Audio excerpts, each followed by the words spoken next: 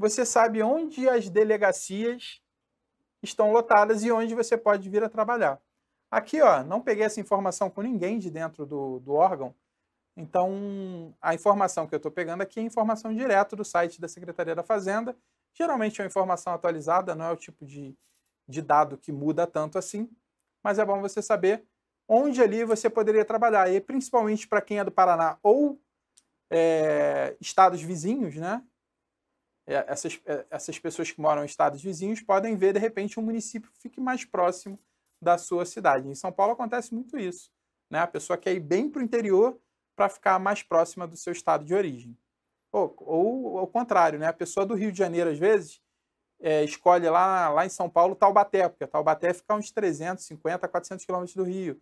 Então dá para fazer uma viagem de bate-volta é, por semana. Então a pessoa escolhe um lugar em que ela consiga se locomover com uma certa facilidade para sua cidade de origem, seu estado de origem. Então você tem essa listinha aqui, ó. Curitiba, naturalmente, Ponta Grossa, Guarapuava, Jacarezinho, Londrina, Maringá, Umuarama, Cascavel, Pato Branco, DCOE, isso aqui é o nome da, da área, né? Uma delegacia de julgamento, que é em Maringá, a Escola Fazendária do Paraná, que fica em Curitiba, bairro de Vista Alegre.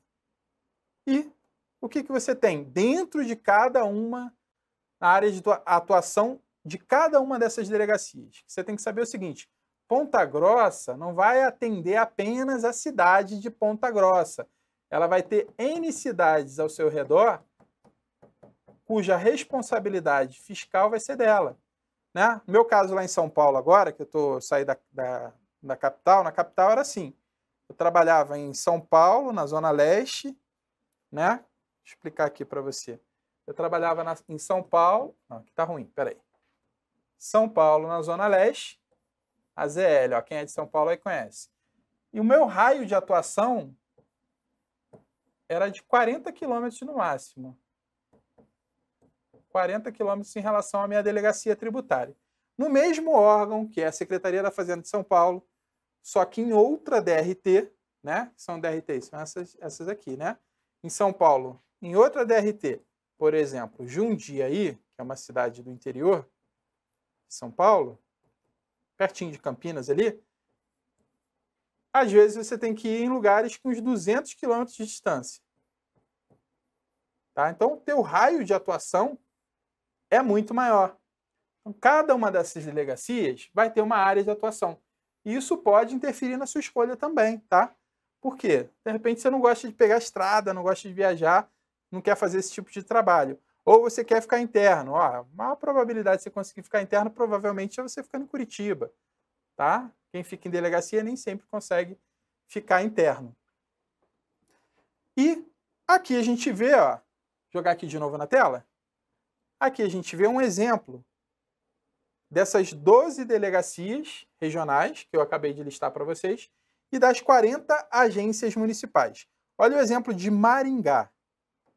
Maringá é responsável por todas as cidades aqui. Colorado, Doutor Camargo, Floresta, Iguaraçu, Inajá, Itambé, Santa Inês, Santa Fé e por aí vai. Isso aqui tudo, ó.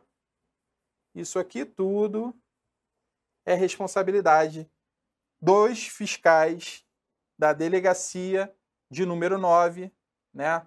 Devem se chamar lá, se eu não me engano, é DRR, DRR09, deve ser alguma coisa assim, ou DRT09, que é uma delegacia regional que vai atender todas essas outras cidades aqui.